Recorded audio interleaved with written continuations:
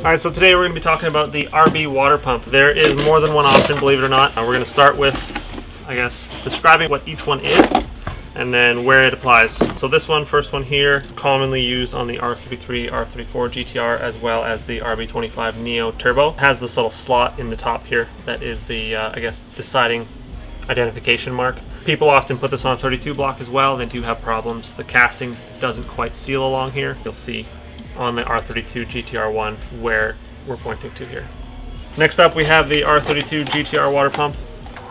This one only fits R32 GTR and GTST RB20. This water pump, as you can see here, does not have the slotted hole in compared to this one here. So as you can see, the casting mark is kind of farther right. Um, so if you were to run this water pump on this engine, uh, you would have a little bit of a leak in here and sometimes it does, sometimes it doesn't leak. So that is the deciding uh, identification mark there. And then our final water pump uh, that we carry is for the RB25DE.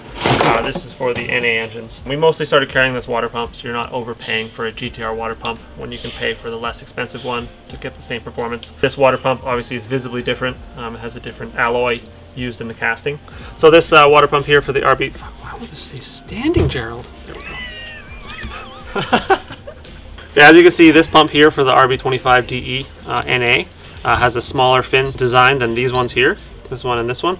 Um, this is pretty much all you'll need for your DE engine. Um, there are different designs that are relatively the same, but this one is visibly smaller. Uh, we do have all three options available on our website. We're adding more and more each day. Um, we have brought in this one uh, and this one because the R33, 34 GTR one has got uh, very expensive in recent years. So there's other cost-effective options on the market that we're slowly adding. These are available on our website and there will be a link below to the listing for these products.